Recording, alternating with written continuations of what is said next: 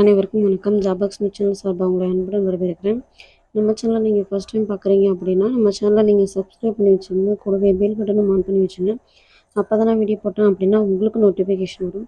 So இந்த வீடியோவில் எதை பற்றி பார்க்க போகிறோம் அப்படின்னா எதை பற்றி பார்க்க போகிறோம் அப்படின்னா டிஎன்பிசி குரூப் ஃபோர் ரிசல்ட்டை பற்றின ஒரு நியூ அப்டேட் ஒன்று பார்க்க போகிறோம் இது வந்து இப்போ பிரேக்கிங் நியூஸாக போயிட்டுருக்கு. ஸோ அதை பற்றி தான் பார்க்க போகிறோம் என்னென்னு பார்த்தீங்க அப்படின்னா அதாவது ஏழு மாதங்களாயும் தேர்வு முடிவுகள் வந்து வெளியாகவில்லை அப்படின்னு சொல்லி போயிட்டுருக்கு.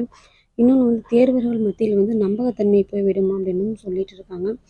தலைவர் உள்ளிட்ட பொறுப்பாளர்கள் விரைவில் நியமிக்க வேண்டும் அப்படின்னு சொல்லியிருக்காங்க. இதில் வந்துட்டு விரைவில் வந்து குரூப் ஃபோர் தேர்வு வந்து வெளியிடணும் அப்படின்னும் சொல்லிட்டு இருக்காங்க. ஏன்னா கிட்டத்தட்ட எக்ஸாம் நடந்து ஏழு மாதம் ஆகிடுச்சு இன்னமுமே அவங்க ரிசல்ட்டை வந்து அப்படியே பெண்டிங்லேயே வச்சுருக்காங்க.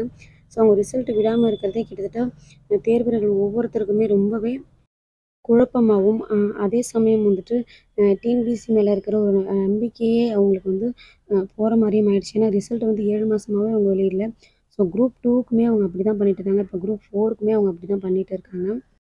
ஸோ இதை பற்றின உங்களோட கருத்து என்ன அப்படிங்கிறத கமெண்ட் பாக்ஸில் கமெண்ட் பண்ணுங்கள் வீடியோ பிடிச்சிருந்தா லைக் பண்ணுங்கள் ஜாப் எக்ஸ் நியூஸ் சேனலை சப்ஸ்கிரைப் பண்ணி வச்சுக்கோங்க.